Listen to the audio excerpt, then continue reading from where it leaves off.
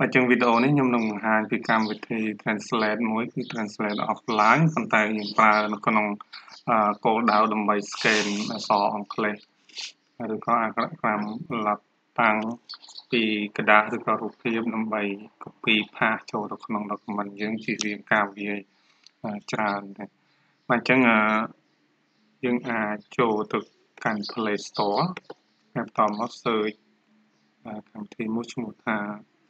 Microsoft បាទ Translate បាទកម្មវិធីមួយនេះបាទអញ្ចឹងយើងមាន option ដើម្បី install តែខ្ញុំ install រួចចឹងមាន option សម្រាប់ open និង uninstall ហើយខ្ញុំ open បាទអញ្ចឹងនេះគឺកម្មវិធី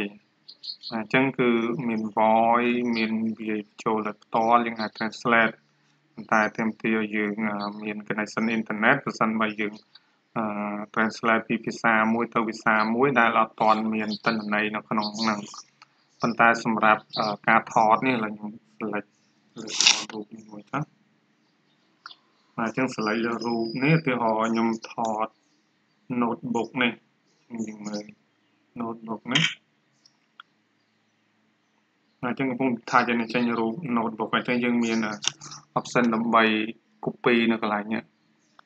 អញ្ចឹងយើងអាច copy ហើយយើងអាចចូលទៅ Facebook ឬក៏កម្មវិធីអីណាមួយដើម្បីផាសចូលទៅក្នុងហ្នឹងអូខេអញ្ចឹងយើងអាចចូលទៅ message ដើម្បី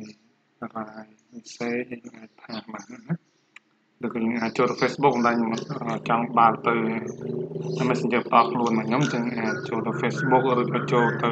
Telegram ហើយថាយើង send ចូលយើងអាច copy ថាចូលក្នុងកុំព្យូទ័ររបស់យើងវិញបាទអញ្ចឹងបើយើងមានអត្ថបទច្រើនយើងអាចធ្វើបែបហ្នឹងបាទឬក៏ជីឈ្មោះអីដែលយើងបាត់សោះកូដហើយប៉ុន្តែគាត់ថាយើងនៅសល់កដាស់ ហើយអញ្ចឹងដើម្បីជៀសវាងការវាយឡើងវិញយើងក៏ថតហើយយើង copy ផាសយើងតិចតួចមកជាការស្រាច់នឹងតាមបើផ្សោតរបស់ខ្ញុំណាអូខេអញ្ចឹងតាមទីមួយនេះគឺមានអត្ថប្រយោជន៍